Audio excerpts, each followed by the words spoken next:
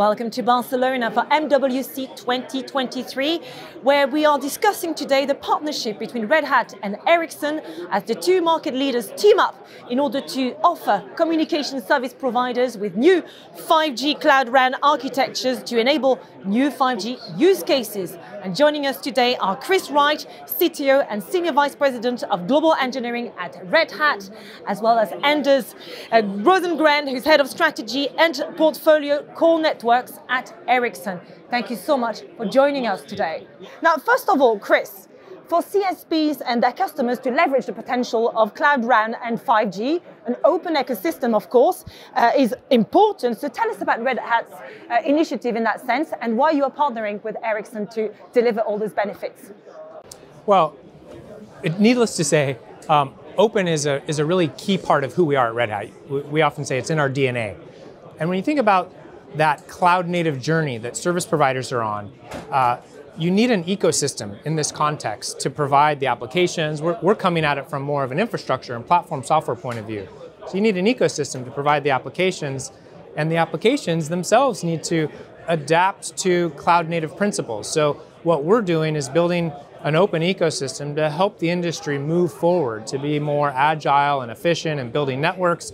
And to do that, it's critical that we have key partners and leaders in the industry that are building the applications that the service providers are, are really actually looking for to build their 5G networks.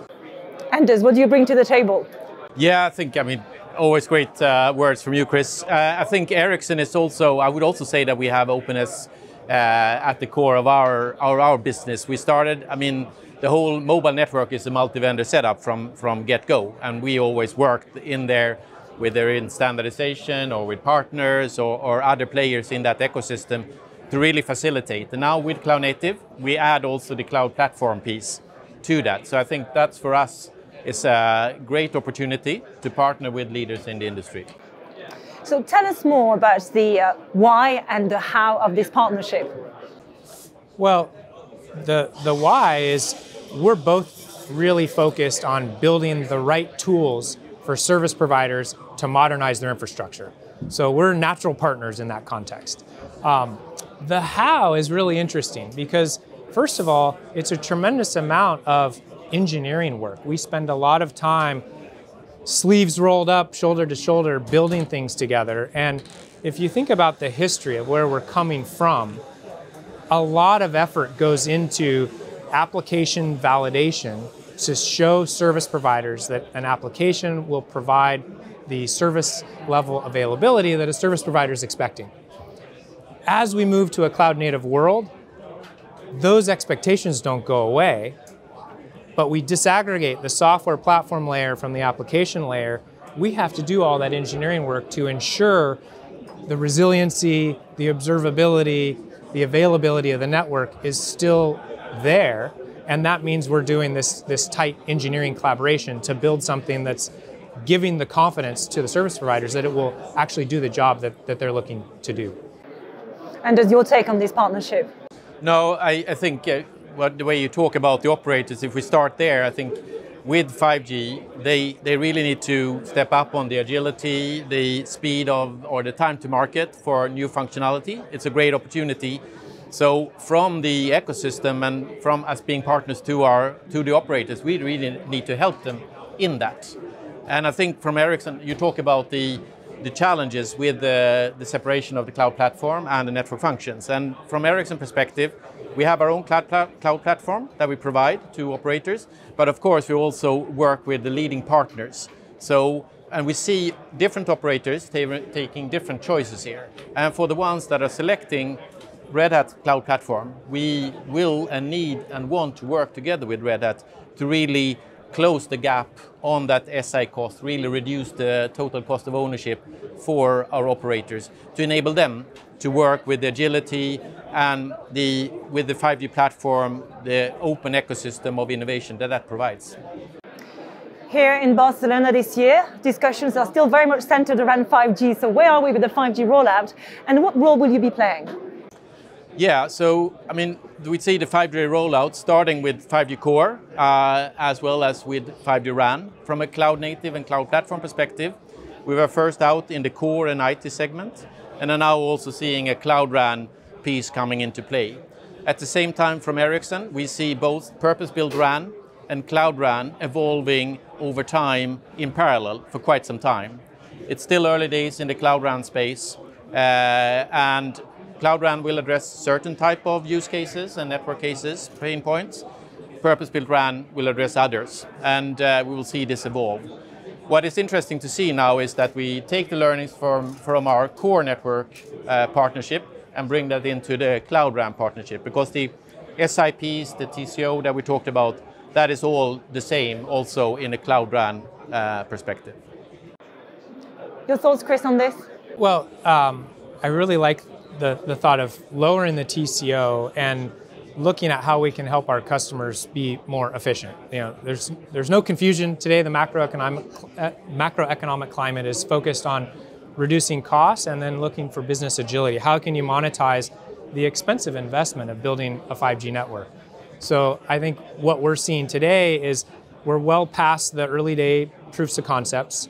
Uh, we are establishing credibility for this cloud native concept in the core of the network. And I think uh, service providers are, are comfortable with that, even going back to 4G and VNFs. So we have some, some history there. Moving into the, the radio access network is, is where a lot of activity is.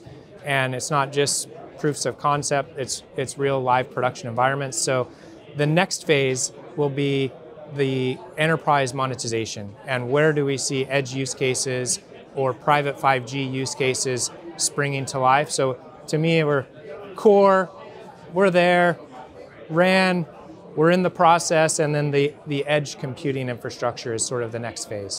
Work in progress. Now, Anders, can you tell us more about this partnership, but in terms of your technical collaboration? Yeah, so I think the technical collaboration is really at the core. I think you, you talked about that a little bit earlier, Chris, where we see we're coming together we create the reference configuration together with the Ericsson Cloud uh, Core software and Red Hat Cloud Platform together. And then we uh, test that. So we run through a set of test cases validating different aspects of, of that joint functionality. We create a set of documentation and services assets that enable the operator to really build on our effort. And the purpose there is that with that reference configuration, with those services assets, the operator can spend less time on deploying, integrating that into their network, faster time to market, lower TCO. So that is the core of, of our collaboration, definitely. I think the the engineering piece to me is is really exciting because it's where we spend a lot of our time um, evolving our platform to suit the needs of the applications that Ericsson provide. So critical engineering endeavor. Um, together, what we're producing is the ability for our customers to focus on their differentiation in their markets and build their businesses. So we're kind of focusing on the, the infrastructure, the plumbing, the, the parts that are critical to the business, um, making it consistent and reproducible so that it's easier to roll out a 5G network and then allow the service providers to focus on their differentiation and their business so they can grow uh, across their market segments. And to wrap up this conversation, what can we expect from this partnership going forward? What will it evolve into in the future? Yeah, maybe I, I start. I think we have over 25 of these technical collaborations across the core, the ITPs, the RAN, and I think there are definitely new versions of the application coming out, new versions of the cloud software coming out. So working in continue to support our, our customers there. And, and you talk about the edge and, and those opportunities also very interesting. So I think combining, maintaining and strengthening the partnership around the technical collaborations and then look at business development and opportunities beyond that in serving our, our joint customers together. I think that is where we're going. Chris, what's your vision from your perspective? Uh, I mean, we have a shared vision. So it is about uh, you know, first sustaining the work that we've done. It's always evolving. Part of cloud native is change, so we're always evolving. And there's interesting areas uh, like energy consumption and sustainability in the radio access network that might require modifications to the infrastructure stack as well as the application stack, and even leveraging different types of hardware in new ways. So always work to do in areas where we've already started collaborating and then expanding that collaboration just to ensure that our customers are uh, you know, building the growth for their future business that, that's key to their success. Chris, Anders, thank you very much for your time and your insights today. Thank you. Thank you. Thank you.